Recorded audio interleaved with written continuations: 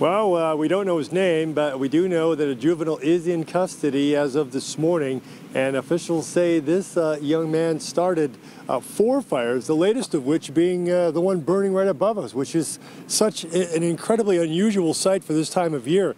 Uh, but again, you know, human caused fire uh, after an extremely dry April and then the high winds over the past couple of days. Well, again, firefighters have their hands full very early in the season.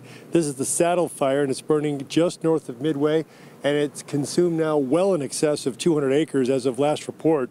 Wasatch Fire District officials say this latest one starting uh, right around the lunch hour yesterday, about 12:30 Tuesday afternoon, and it grew quickly thanks to again the very dry area, the very dry brush, and uh, high winds. This fire marks the fourth one in this area in the last week, and uh, officials say they're all human caused, all arson.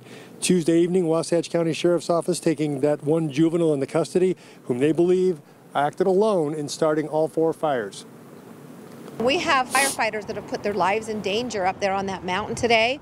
A hundred lives or more have been in danger today because a juvenile chose to do something like this. This is pretty serious. This is not just a game.